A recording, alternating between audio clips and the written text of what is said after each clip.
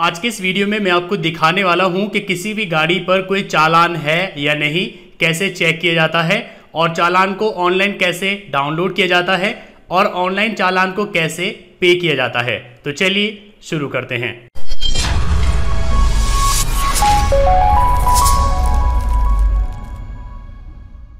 किसी भी व्हीकल का चालान चेक करने के लिए या फिर ऑनलाइन चालान पे करने के लिए आपको एक ब्राउज़र ओपन करना है। उसमें आपको टाइप करना है E challan dot Parivahan dot G O V dot in तो आपके सामने ये पेज आ जाएगा। यहाँ आप चेक चालान स्टेटस पर क्लिक करेंगे तो आपके सामने तीन ऑप्शन आ जाएँगे। ये तो आप यहाँ पर अपना ड्राइविंग लाइसेंस नंबर डालेंगे कैप्चा फिल करेंगे और गेट डिटेल्स पर क्लिक करेंगे तो आपके सामने चालान डिटेल्स आ जाएगी।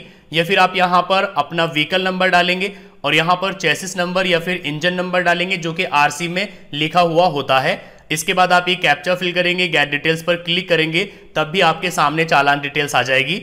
या फिर आप यहाँ पर चालान नंबर डालेंगे, इसके बाद आप यहाँ पर ये कैप्चा फिल करेंगे और गेट डिटेल्स पर क्लिक करेंगे, तब भी आपके सामने चालान डिटेल्स आ जाएगी। यहाँ पर नेम आ जाएगा, जिसके नाम भी व्हीकल है। यहाँ पर डीएल या फिर आरसी नंबर आ जाएगा, चालान नंबर आ जाएगा।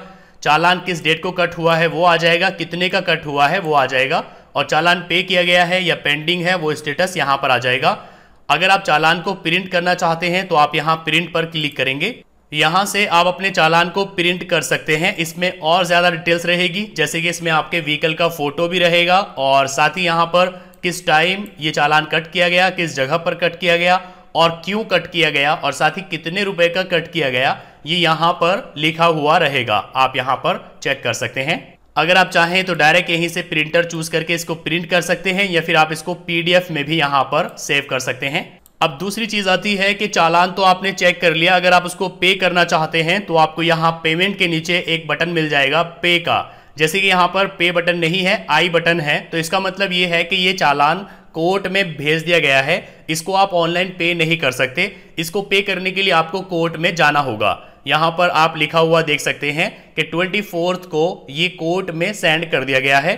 किस कोर्ट में सेंड किया गया है? उसका नाम भी यहाँ पर लिखा हुआ है। चलिए अब यहाँ पर मैं आपको एक दूसरा चालान दिखाता हूँ, जिसको ऑनलाइन पे किया जा सकता है। यहाँ पर चालान नंबर डालेंगे कैप्चा फिल करेंगे और गेट डिटेल्स पर क्लिक करेंगे।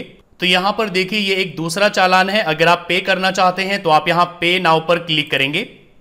यहाँ पर आपको अपना मोबाइल नंबर डालकर सेंड ओटीपी पर क्लिक करना है। ओटीपी डालने के बाद आपको सबमिट पर क्लिक करना है। आपके चालान की पूरी डिटेल्स को ये ले लेगा, आपको बस नेक्स्ट करना है। यहाँ पर डिटेल्स आ जाएगी, आपको प्रोसीड विद नेट पेमेंट पर क्लिक करना है। पेमेंट के आपको काफ़ी सारे ऑप्शंस मिल जाएँगे, जैसे कि आप यहाँ पर योनो या एसबीआई की नेट बैंकिंग से पे कर सकते हैं, किसी दूसरे बैंक की इंटरनेट बैंकिंग से पे कर सकते हैं, या फिर अगर आप चाहें तो एनएफटी या आरटीजीएस से भी यहाँ पर पे कर सकते हैं। जैसे कि हमें SBI के अलावा किसी और बैंक की इंटरनेट बैंकिंग से पे करना है तो यहाँ पर क्लिक करेंगे। यहाँ से बैंक चूज़ कर लेंगे किस बैंक से आप पेमेंट करना चाहते हैं। सभी बैंक्स की लिस्ट आपको यहाँ पर मिल जाएगी। जैसे कि यहाँ पर हम चूज़ कर लेते हैं Punjab national bank retail make payment पर क्लिक करेंगे। इसके बाद यहाँ पर आप अपनी इंटरनेट बैंकिंग का यूज़र आईडी और पासवर्ड डालेंगे। बैंक की तरफ़ से आपके पास ओटीपी आएगा। आप ओटीपी डालकर सबमिट करेंगे तो आपका पेमेंट यहाँ पर सक्सेसफुल हो जाएगा।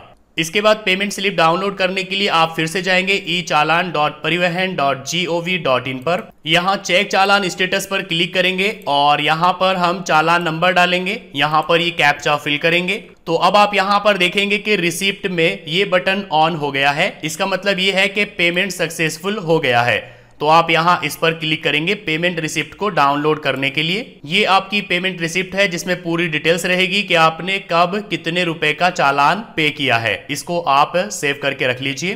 तो इस तरीके से यहाँ पर आप चालान डिटेल्स देख सकते हैं, चालान नंबर के थ्रू, व्हीकल नंबर के थ्रू, या फिर ड्राइविंग लाइसेंस नंबर के थ्रू। और यहीं पर आप चालान को प्रिंट कर सकते हैं, और यहीं से आप पे कर सकते हैं, और यहीं पर आप रिसिप्ट डाउनलोड कर सकते हैं। सो आई होप कि वीडियो आपको काफ़ी पसंद आया होगा। अगर आपको वीडियो पसंद आया है तो लाइक करिए, अपने फ्रेंड्स के साथ शेयर करिए। और अगर आपके मन में कोई कन्फ्यूज़न है तो आप नीचे कॉमेंट करके पूछ सकते हैं।